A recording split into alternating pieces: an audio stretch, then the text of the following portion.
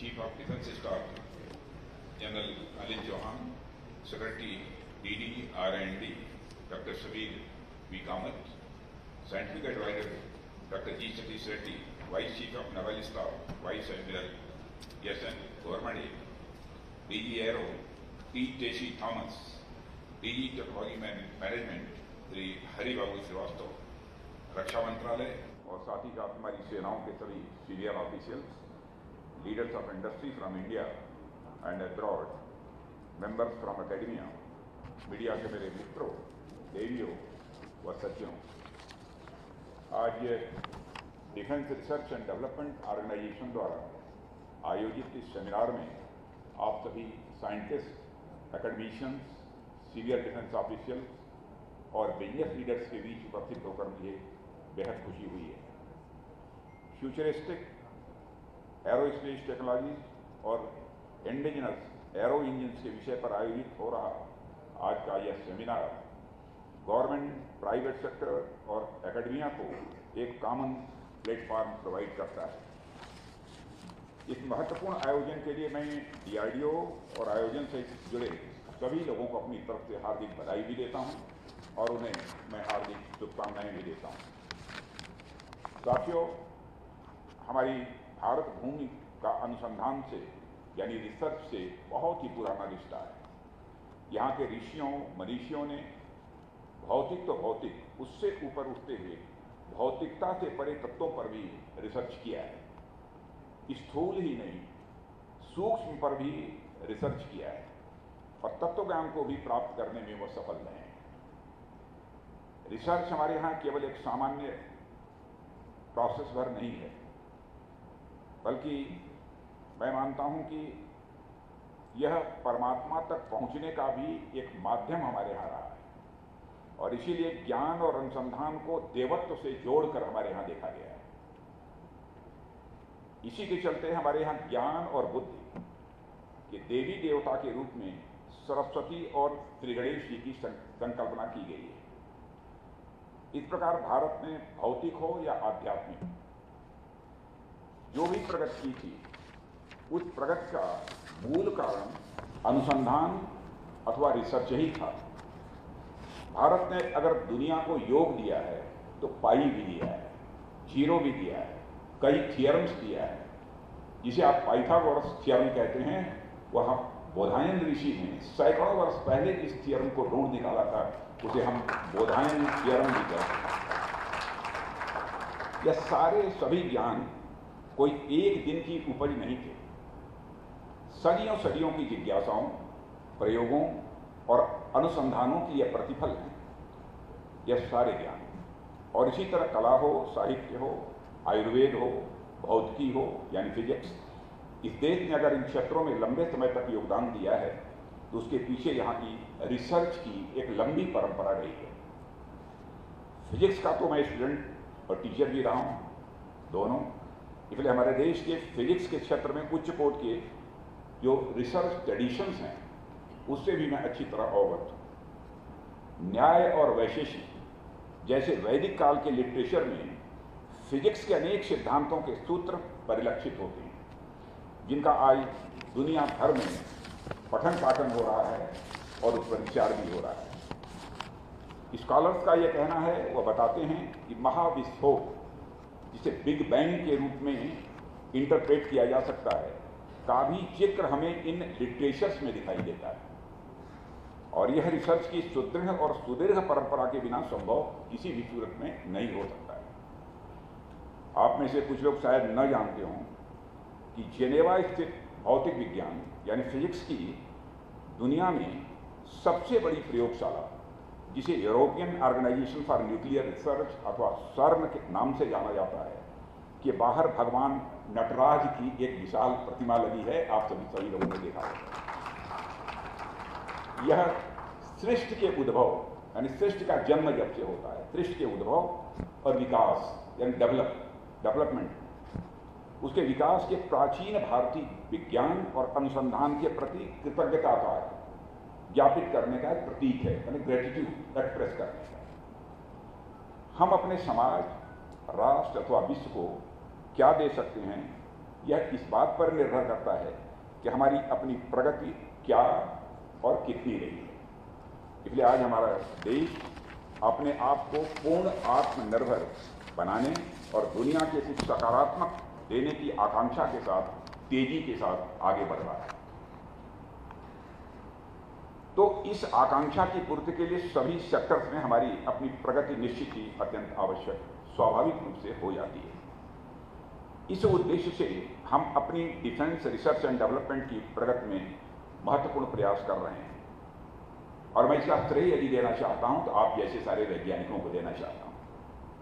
और मुझे कहते हुए बेहद खुशी है कि डीआरडीओ इस दिशा में एक फ्लैग बियरर की भांति लगातार आगे बढ़ता चला जा रहा है। साथियों डीआरडीओ के साइंटिस्ट इंजीनियर्स और टेक्नीशियंस को मैं हमारे सैनिकों के ही दूसरे स्वरूप के, के रूप में मैं देखता हूँ। आयुध के बारे में सोचने वाले सैनिक हथियारों का आयुध का विकास हथियारों का विकास वेपन्स और निर्माण करने वाले सैनिक आप सभी अवगत होंगे कि प्राचीन काल में जब युद्ध पद्धतियाँ बहुत विकसित नहीं थी प्रत्येक योद्धा अपने सभी कर्मों के लिए स्वयं जिम्मेदार होता था।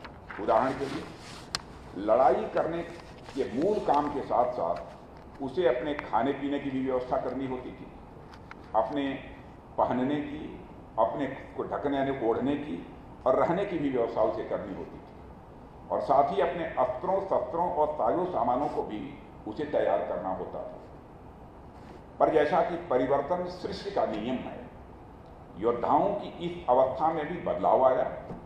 और युद्ध के अलावा उनके बाकी की जो काम स्पेशलाइज तरीके से स्पेशलिस्ट के द्वारा किए जाने लगे। ये स्पेशलिस्ट ये सारे ये स्पेशलिस्ट लोग योद्धाओं के साथ साथ युद्ध के मैदान में भले न जाते हों, पर इनके बनाए अस्त्र शस्त्र योद्धाओं को मजबूती प्रदान करने लगे। इसे लाभ यह हुआ कि योद्धा अपने मूल कार्य पर फोकस करने लगे।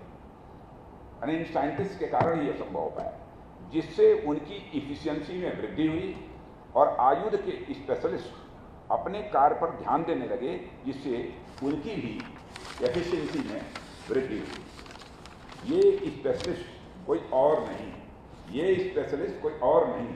हमारे डीआरडीओ के साइंटिस्ट हैं, हमारे डीआरडीओ के इंजीनियर्स हैं और हमारे डीआरडीओ के टेक्नीशियन जो पर्दे के पीछे के हीरोज के रूप में दिन रात मेहनत करते हैं। आप सब पर्दे के पीछे के हीरो हैं और हमारे सैनिकों को आप मजबूती प्रदान करने वाले लोग साथियों, आज़ादी के बाद से अब तक हमारा डिफेंस एंड एरोस्पेस सेक्टर अगर लगातार मज़बूत हुआ है तो डीआरडीओ की उसमें बहुत ही महत्वपूर्ण भूमिका है।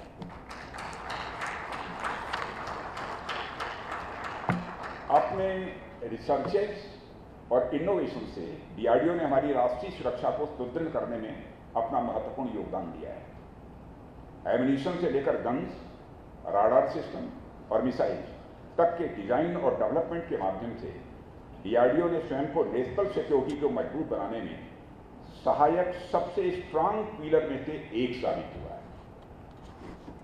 यह बड़े हर्ष और गर्व की बात है हम सभी के लिए। पिछले कुछ वर्षों में देश में तपस और A W and C medium range artillery gun helicopter radar जैसे state of the art platform और वेपन सिस्टम डेवलप किए हैं। दुनिया ने हमारी अचीवमेंट को नोटिस किया है और कई देश अब हमसे डिफेंस इक्विपमेंट इंपोर्ट कर रहे हैं, जबकि कई और देश इंडियन वेपन सिस्टम हासिल करने के प्रोसेस में एरोस्पेस इंडस्ट्री में एरोस्पेस इंडस्ट्री में एलसीए तेजस विमान गेम चेंजर साबित हो रहा है। साथियों, एक अत्यंत सक्षम एरियल प्लेटफॉर्म एलसीए तेजस का फ़्लाइट सेफ्टी में एक सराहनीय रिकॉर्ड है, जो इसकी क्वालिटी के बारे में बहुत कुछ बताता है। इसकी सफलता के आधार पर सरकार ने अब इंडियन एयरफोर्स के लिए एलसीए मार्क टू को मंजूरी दे दी है। जबकि twin engine twin engine deck base fighter भारतीय नौसेना के लिए अभी अंडर कंसिडरेशन है।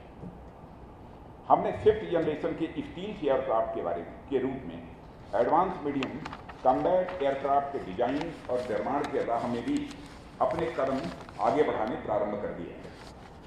कहने का अर्थ यह है कि जल हो, थल हो, नभ हो, सर्वत्र सुरक्षा व्यवस्था को मज़बूत करने में डीआरडीओ सदैव फोर फ्रंट पर रहा है, इसके लिए मैं पुनः आप सबको बधाई और साथियों, आज भारत में एयरो स्पेस सेक्टर अपने एक महत्वपूर्ण पड़ाव पर है। और इसे एक नई दिशा देना आज की ज़रूरत है। ग्लोबल सुपर सुपर पावर बनने की और लगातार प्रगति करते भारत के पास नेक्स्ट लेवल की डिफेंस फोर्सेस का मज़बूत सपोर्ट होना चाहिए, जो किसी भी नई चुनौती का सामना करने में सक्षम है। इसलिए मेरा मानना है कि हमारे देश को artificial intelligence drones stealth hypersonic और क्वांटम कंप्यूटिंग जैसी नीच टेक्नोलॉजी का उपयोग करके आवश्यक वेपन सिस्टम के इंडिजिनस डिज़ाइन एंड डेवलपमेंट पर ध्यान केंद्रित करने की आवश्यकता है, जो कि आप लोग कर भी रहे हैं। इसी तरह इंडियन एरोस्पेस सेक्टर को नई ऊंचाइयों पर पहुँचाने के लिए भी इंडिजिनस एरो इंजन का डिज़ाइन और डेवलपमेंट भी मैं समझता हूँ कि वर्तमान समय की सबसे महत्वपूर्ण यह आवश्यकता है। आज जब हम अपनी आज़ादी के 75 वर्ष पूरे कर अमृत काल में प्रवेश कर चुके हैं, हमें इस बात पर फिर से विचार करने की ज़रूरत है। हम कब तक दूसरों के इंजन से अपनी उड़ान भरते रहेंगे? हम कब तक कहते रहेंगे कि हमारा प्रयास जारी है? क्योंकि तो मैं भी यही कहता हूँ। हमारा प्रयास जारी है बार बार हम भी कहते हैं, जब इंजन का सवाल होता है, आज भी शायद किसी ने मुझसे पूछा था कहीं पर। तो मैंने कहा कि भी इंजन का प्रयास हमारा जारी है। कभी तो हमें रिज़ल्ट देना ही पड़ेगा ना। ये बात तो पक्की है। यह एरो इंजन का डेवलपमेंट न हो, पानीपत का युद्ध हो गया हो। कि जो दादाजी ने रटा, वही पिताजी और वही बच्चा भी रट रहा है। कि प्रयास जारी है। हम जब स्कूल में पढ़ते थे तो एक रुपये की जनरल नॉलेज की एक किताब आती थी। मालूम नहीं अब आती है कि नहीं, इसके बारे में मैं नहीं कह सकता लेकिन आती थी। और उसका पब्लिशर ऐसा चालाक आदमी हुआ करता था, ऐसा चालाक आदमी हुआ करता था। आधा वर्ष बीतते बीतते वह अगले साल का एडिशन मार्केट में उतार देता जिससे उसकी बिक्री अधिक हो। कारण यही था। जैसे अभी फरवरी 2023 चल रहा है, और कुछ ही दिन में जनरल नॉलेज 2024 की किताब हमारे सामने आ जाए और उस किताब किताब में होता क्या था कि पानीपत की लड़ाई कब हुई? सबसे बड़ा दरवाज़ा कौन सा है? यही सब सारी चीज़ें होती थी सबसे लंबी नदी कौन सी है? आदि आदि एक्सेट्रा इन सब सारी चीज़ें होती अब इन सब फैक्ट्स में कोई चेंज तो होना है नहीं। जो थे तो हुआ। आज भी हैं, कल भी नहीं तो क्या फ़र्क पड़ता है कि वह जनरल नॉलेज 2024 की हो या 2050 की हो? इससे साल दर साल वह नई नई किताबें निकालता जाता था और कमाई करता जाता था। कहना मैं यह चाहता हूँ साथियों कि हम सभी ये प्रयास करें कि एरो इंजन के लिए हमारा प्रयास भी उन्हीं फैक्ट्स की तरह न बन जाए, जो कभी बदले ही ना।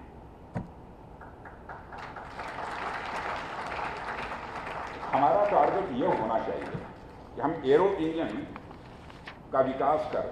न केवल जनरल नॉलेज की नई किताब लिखें, बल्कि अपने पुरुषार्थ से इस देश का एक नया इतिहास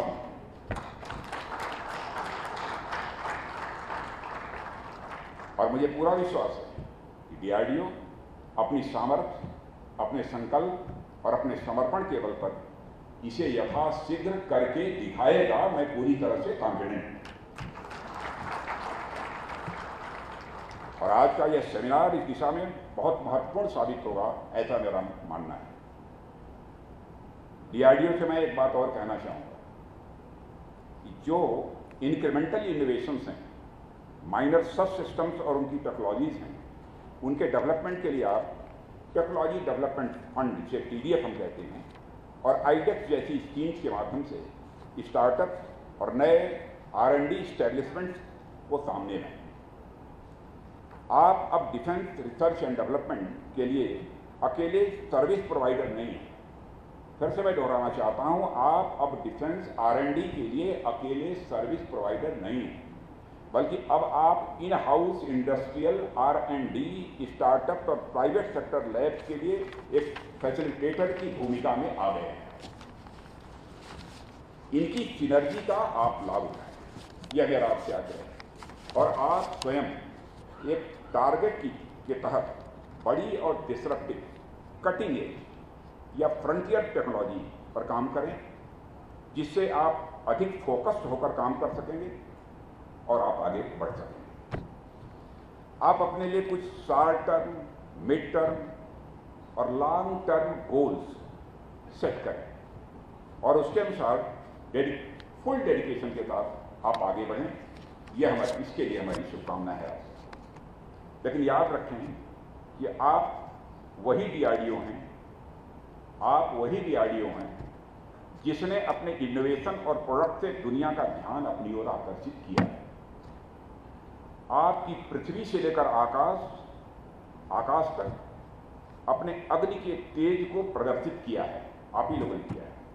पृथ्वी से लेकर आकाश तक अपने अग्नि के तेज को आपने प्रदर्शित किया है। ऐसा कोई कारण नहीं कि एरो इंजन के निर्माण की दिशा में आप सफलता प्राप्त न कर सकें, ऐसा मेरा मानना है।